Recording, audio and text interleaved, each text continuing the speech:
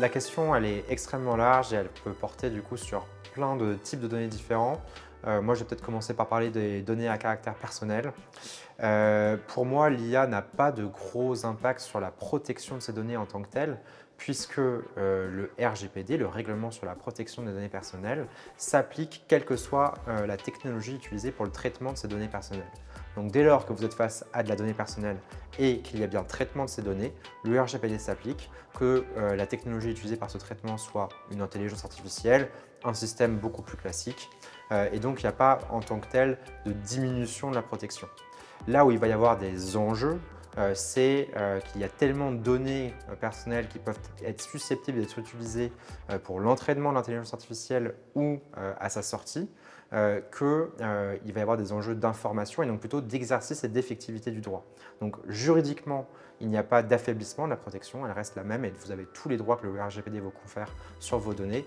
Euh, en pratique, euh, il y a quand même des questions sur l'application effective de certains droits, euh, compte tenu du caractère extrêmement spécifique de certains modèles d'intelligence artificielle, en, en particulier les modèles d'intelligence artificielle génératifs. Je pense qu'on sous-estime aussi l'impact que l'IA peut avoir en faveur de la protection des données.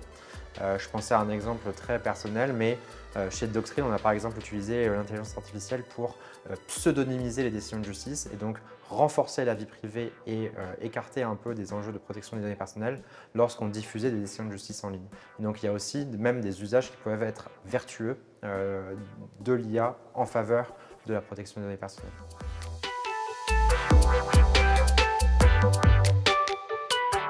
Un exemple peut-être concret de euh, cet apport que peuvent avoir les, données synthétiques.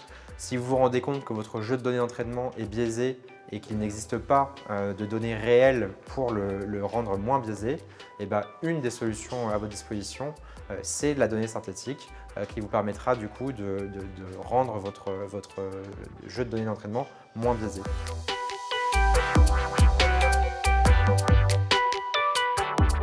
Question extrêmement large. Euh, ça va évidemment, là encore, euh, sa réponse d'avocat, euh, dépendre, dépendre de quel type d'IA on parle et de quel type de données on parle.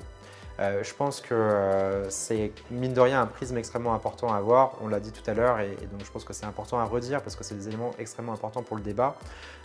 on n'a pas les mêmes enjeux de fiabilité quand on parle de Google Translate ou quand on parle de euh, d'un mélanome euh, sur euh, des résultats médicaux. Ce qui est certain, c'est qu'aujourd'hui, l'IA, elle est capable de traiter un très grand nombre de données, bien plus élevés que ce qu'un humain est capable de, faire, et elle est capable d'avoir des, taux de fiabilité extrêmement élevés sur ces traitements.